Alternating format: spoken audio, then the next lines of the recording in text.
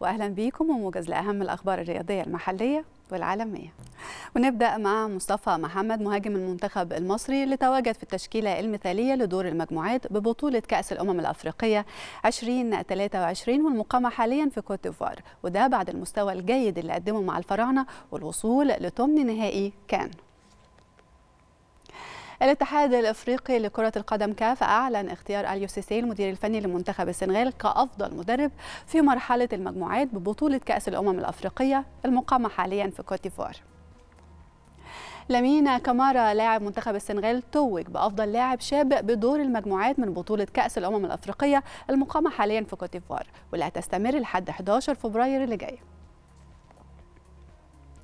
كمان نادي بيراميدز أعلن تعاقده بشكل رسمي مع المهاجم الدولي مروان حمدي قادما من النادي المصري وده لدعم خط هجومه وأنهى مدير التعاقدات ببيراميدز اجراءات ضم المهاجم ليصبح لاعبا في صفوف النادي بداية من شهر يناير الجاري.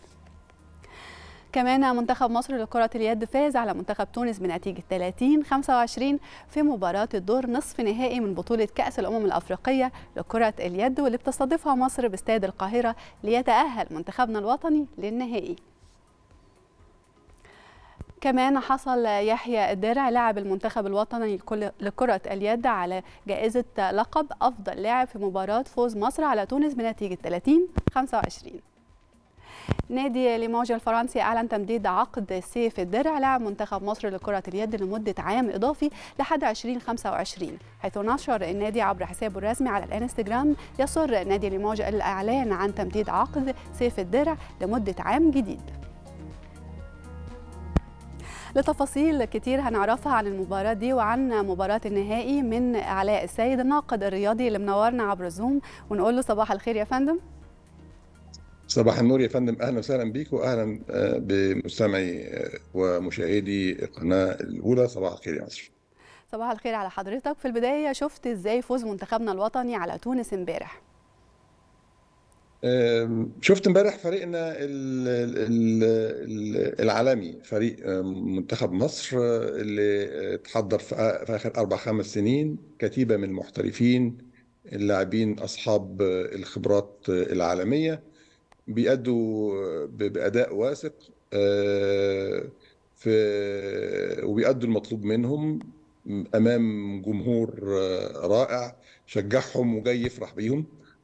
فرقنا طبعا فوز مستحق جدا وفارق واضح في الإمكانيات الفنية والبدنية لصالح منتخبنا اللي زي ما قلنا كده تم إعداده في آخر أربع خمس سنين وزي ما قلنا كده ابتعاثه.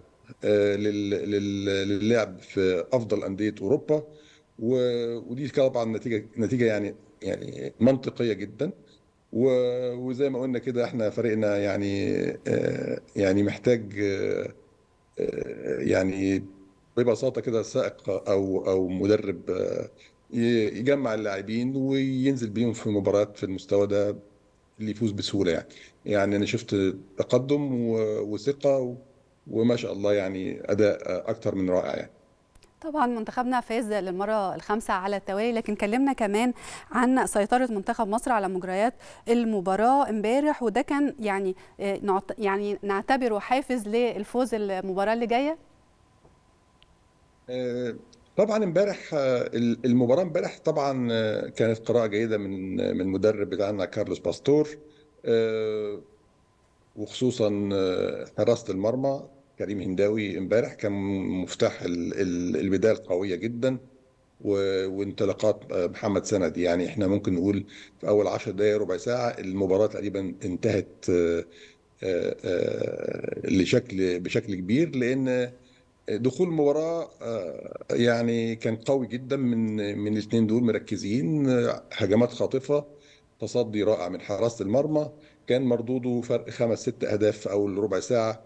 وده اللي صعب المهمة جدا على الفريق التونسي إن هو يتواجد تاني في المباراة.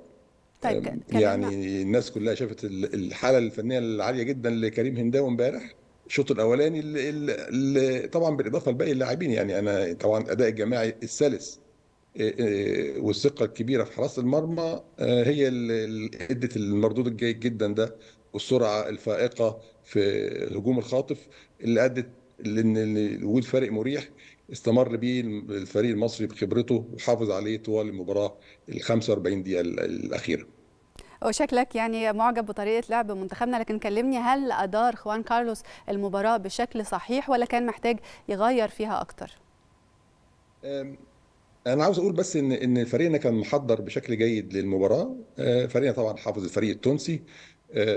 وإن كان يعني يعني في طبعا في وجهات نظر مختلفة في طريقة الإدارة وخصوصا إن الناس شافت إن الفريق المصري يعني فايز بفرق خمس أهداف في الشوط الأولاني كان ممكن يزيد الفرق عن كده شوية لكن طبعا كل مباراة وليها ظروفها طبعا اعتمد بشكل أساسي على اللعيبة المحترفين المتعودين يلعبوا على بعض. إحنا فريقنا يعني ده مكون وبالشكل ده وبالتشكيلة الفنية دي يعني بقى لها 3 4 سنين يمكن من 2019 الشكل ده بالنسبة لنا محفوظ. يعني الناس متعودة وجود سند متعودة على يحيى خالد متعودة على يحيى الدرع متعودة على علي زين موجودين في في أماكنهم بالإضافة لكريم هنداوي. فيعني التشكيلة ما كانش فيه تغيير كبير. إحنا بس كان كنا طمعانين شوية إن الشوط الثاني يبقى أداء أفضل شوية على أساس إن الفريق يزود الفرق وخصوصا إن الفريق التونسي يعني زي ما بقول كده فقد ال ال ال التوازن شوية. الشوط الأولاني كان ممكن يبقى النتيجة أعلى من كده شوية. طيب لكن طبعا كمان... هو حاول يرجع للمباراة ما عرفش لأن فريقنا خبرات عالية ما شاء الله عليه. طب إيه رأي حضرتك في استبعاد المدير الفني لعصام الطيار ومحسن رمضان ومازن رضا وخالد وليد؟ هي مقتضيات بطولة ومقتضيات لعب بصفة عامة. يعني حراسة المرمى عندنا كريم هنداوي أدى أداء رائع الشوط الأولاني وآخر 10 دقائق أو أو أقل أداهم محمد علي بأداء رائع. وجهات نظر يعني أنا وجهة نظري أنا لو كنت موجود في الملعب كنت هستغل عصام الطيار في فترات مختلفه في في البطولة مش في الماتش ده بالذات يعني. عصام الطيار ما ما شاركش في ولا ماتش في البطولة فطبعا كان صعب يشارك في ال في ال في ال في البطولة دي. في الماتش بتاع امبارح. لكن باقي اللاعبين مقتضيات ملعب وفكر مدرب نتفق أو نختلف عليها ده أمر طبيعي جدا. لكن في الآخر الراجل وصل المباراه النهائيه وبشكل مريح. يعني شفنا مباراة امبارح في فوز مريح للفريق المصري بدون شدة أعصاب. زي ما قلنا كده خلصها في أول ربع ساعة بسبب التحضير الجيد.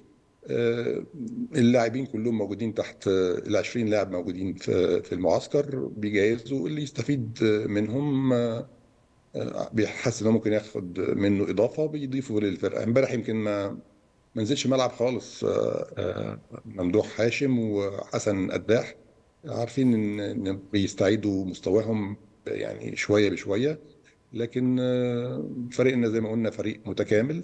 الموجود بيسد الحاجة الفنية المطلوبة من المدرب وده أمر طبيعي جدا يعني. تمام بنشكرك. شكرا جزيلا سيد علاء السيد الناقد والرياضي على الشرح والتحليل والتفصيل ده. بشكرك شكرا جزيلا.